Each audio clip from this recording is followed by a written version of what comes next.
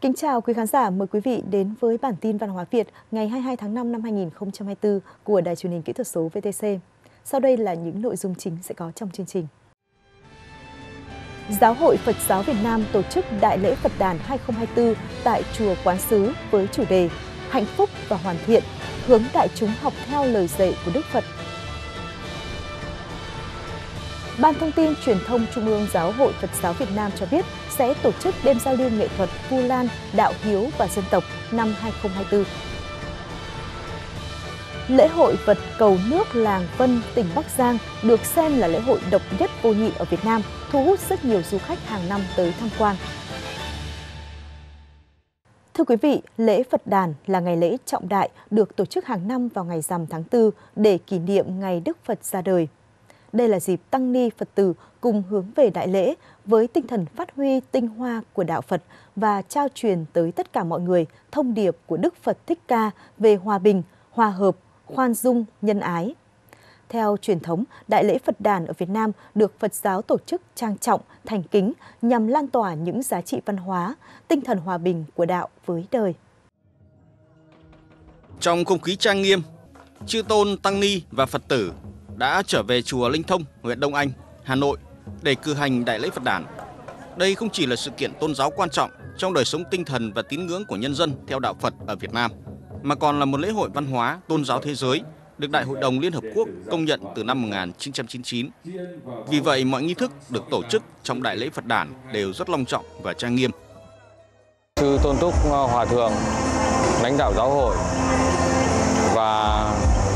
Sư Tôn Đức, Tăng Ni Phật tử trong nước và nước ngoài đều hân hoan, long trọng, kính mừng ngày đàn sinh của Đức Tử Phụ Thích Ca Mâu Ni Phật. Thì theo thông điệp của Liên Hợp Quốc, Đại lễ về sắc, tức là kỷ niệm 3 ngày lễ là Đức Phật đàn sinh, Đức Phật thành đạo và Đức Phật nhập Niết Bàn. Tham dự lễ Phật đàn được bình tâm lắng nghe thông điệp Đức Pháp Chủ, những lời giáo huấn đã giúp cho nhiều Phật tử chiêm nghiệm theo lời dạy của Ngài, từ đó biết thực hành giáo lý từ bi, hỷ xả để nuôi dưỡng thân tâm. Trong đại lễ này không thể thiếu nghi thức tắm Phật, đây cũng là nghi lễ cầu nguyện cho đất nước hòa bình và phồn thịnh, đồng thời cầu mong cho nhân loại được bình an, hạnh phúc. Không chỉ vậy, nghi lễ còn có ý nghĩa giúp chúng sinh gột bỏ tham sân si để nuôi dưỡng những điều thiện lành trong mỗi con người. Tôi thấy là mình gội rửa được những cái tâm tham sân si để mình ờ, hướng đến và trí tuệ, hạnh nguyện để học theo hạnh nguyện bước chân của Đức Phật Bổn Sư Thích Ca Mâu Ni. Đại lễ Phật đản được tổ chức là dịp để các tăng ni Phật tử thể hiện lòng biết ơn, kính trọng đối với Đức Phật thông qua thực hành những giáo lý nhà Phật. Từ đó sống có ý thức, trách nhiệm, biết yêu thương, giúp đỡ nhau và cùng hướng đến một thế giới hòa bình, hạnh phúc. Lễ Phật đàn hay còn được gọi là Vesak là một trong những ngày lễ lớn có ý nghĩa đặc biệt quan trọng đối với tăng ni Phật tử trên thế giới và Việt Nam. Năm nay, Giáo hội Phật giáo Việt Nam tổ chức Đại lễ Phật đàn 2024 tại Chùa Quán Sứ với chủ đề Hạnh phúc và hoàn thiện, hướng đại chúng học theo lời dạy của Đức Phật, thân tâm đều hướng thiện để xây dựng cuộc sống hạnh phúc, gia đình, xã hội hạnh phúc. Sáng 22 tháng 5, tại Trung ương Giáo hội Phật giáo Việt Nam, Đại lễ Phật đàn 2024 đã diễn ra tại Chùa Quán Sứ Hà Nội với sự tham gia của nhiều lãnh đạo đảng, nhà nước, khách quốc tế cùng các vị chức sắc trong giáo hội và tăng ni, Phật tử trong cả nước. Đại lễ Phật đàn Phật lịch 2568 diễn ra trong vòng 2 tuần từ ngày mùng 1 tháng 4 đến 15 tháng 4 năm Giáp Thìn, tức từ ngày mùng 8 tháng 5 đến ngày 22 tháng 5 năm 2024 dương lịch với nhiều nghi thức Phật giáo trang trọng, với những triết lý sâu sắc và tinh thần, đạo Pháp, dân tộc, chủ nghĩa xã hội, các hoạt động Phật sự và hoạt động xã hội của Phật giáo luôn hướng đến con người, vì con người, vì hạnh phúc của nhân dân, vì sự phát triển phồn vinh của đất nước, vì sự trường tồn của dân tộc. Hơn 2.000 năm Phật giáo du nhập vào Việt Nam, thì Phật giáo luôn nêu cao cái tinh thần hộ quốc an dân và đồng hành cùng dân tộc. Và cái phương châm của Giáo hội Phật giáo Việt Nam đó là đạo Pháp, dân tộc và chủ nghĩa xã hội. Trong những năm qua thì Giáo hội Phật giáo Việt Nam cũng đã kêu gọi các cấp giáo hội tăng ni Phật tử trong cả nước làm nhiều những cái việc thiện sự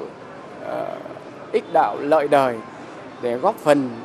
vào các cái công tác ờ, an sinh xã hội của quê hương đất nước.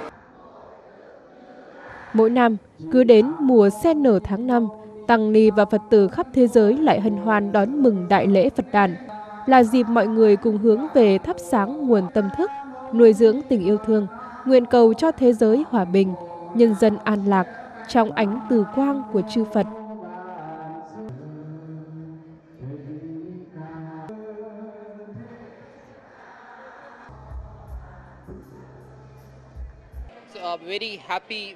Tôi cảm thấy rất vui khi người Việt Nam tham dự Đại lễ Phật đàn. Ở Ấn Độ chúng tôi, đây là ngày vui chung của tất cả mọi người. Sự kiện này để cầu mong hòa bình an lạc cho người dân trên toàn thế giới và ghi nhớ lời dạy của Đức Phật.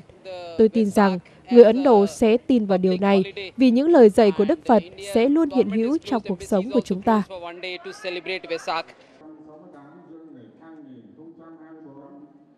Là tôn giáo của từ bi, của lòng nhân ái và tính hướng thiện, Phật giáo ra đời vì cuộc sống an lạc của nhân loại. Trong thực hành giáo lý và cuộc sống, đạo Phật luôn đề cao tinh thần đạo và đời luôn gắn liền nhau. Trải qua hàng nghìn năm lịch sử, Phật giáo đã bén rễ, ăn sâu và hòa nhập vào xã hội Việt Nam, trở thành một thành tố của nền văn hóa truyền thống cao đẹp của người Việt Nam, nền văn minh, văn hiến Việt Nam. Chiều ngày 21 tháng 5, Ban Thông tin Truyền thông Trung ương Giáo hội Phật giáo Việt Nam đã tổ chức họp báo giới thiệu về chương trình Vu Lan Đạo Hiếu và Dân tộc năm 2024. Chương trình được tổ chức với mục đích xiển dương đạo Pháp, phát huy truyền thống văn hóa hiếu đạo của dân tộc Việt Nam nói chung và đạo hiếu Phật giáo nói riêng, từ đó góp phần lan tỏa mạnh mẽ những giá trị tốt đẹp của đạo hiếu tới cộng đồng Phật tử, những người mến mộ đạo Phật trong và ngoài nước. Điểm nhấn của chương trình Vu Lan Đạo hiếu và dân tộc năm 2024 là đêm giao lưu nghệ thuật, dự kiến diễn ra vào 20 giờ ngày 10 tháng 8, tức mùng 8 tháng 7 âm lịch tại nhà hát lớn Hà Nội. Lễ hội vật cầu nước làng Vân, huyện Tiên Yên, tỉnh Bắc Giang là một nét đặc trưng của văn hóa lúa nước, thể hiện niềm khao khát của cư dân nông nghiệp cầu cho một năm mưa thuận, gió hòa, mùa màng bội thu. Đây được xem là lễ hội độc nhất vô nhị ở Việt Nam, thu hút rất nhiều du khách hàng năm tới tham quan. Theo thông lệ xưa, hội vật cầu nước làng Vân được tổ chức thường xuyên theo điều lệ và quy ước của làng. Trong những năm kháng chiến, lễ hội vật cầu nước ít được tổ chức nhưng khi hòa bình, nhân dân địa phương khôi phục và duy trì trở lại, mang đầy đủ sắc thái, diện mạo của lễ hội dân gian theo nghi thức cổ truyền. Hương ước của làng hiện nay quy định 4 năm sẽ tổ chức lễ hội vật cầu nước một lần. Lễ hội vật cầu nước làng Vân mang đậm những nét tâm linh của cư dân trồng lúa nước định canh, hội mang nhiều yếu tố về phồn thực, rèn luyện sức khỏe, thỏa mãn nét văn hóa cổ xưa. Cũng trong sự kiện này, Bộ Văn hóa Thể thao và Du lịch đã trao chứng nhận lễ hội vật cầu nước Làng Vân là di sản văn hóa phi vật thể cấp quốc gia. Mới đây tại Hà Nội đã diễn ra buổi hòa nhạc giao hưởng Chu Concerto A Night of Tchaikovsky and Rachmaninoff by Vũ Ngọc Linh. Sự kiện quy tụ hơn 70 thành viên của giàn nhạc phim Sài Gòn, Sài Gòn Film Orchestra cùng các nghệ sĩ khách mời đến từ giàn nhạc giao hưởng Việt Nam, Học viện Âm nhạc Quốc gia Việt Nam.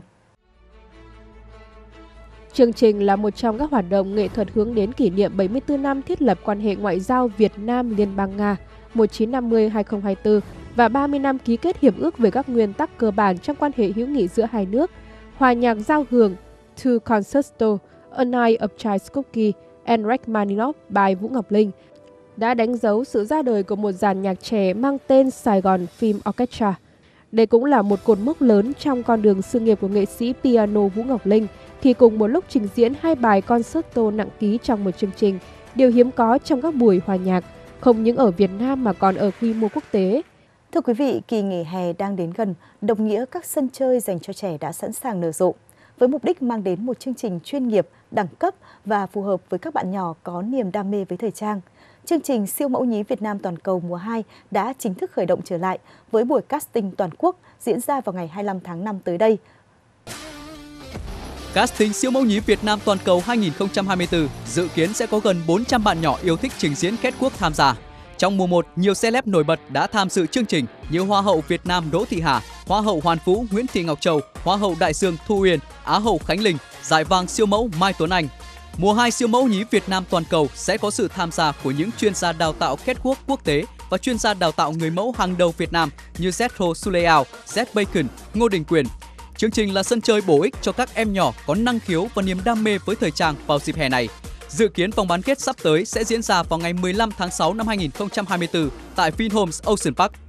Thông tin vừa rồi cũng khép lại bản tin văn hóa Việt ngày hôm nay. Cảm ơn quý vị và các bạn đã quan tâm theo dõi. Xin kính chào và hẹn gặp lại.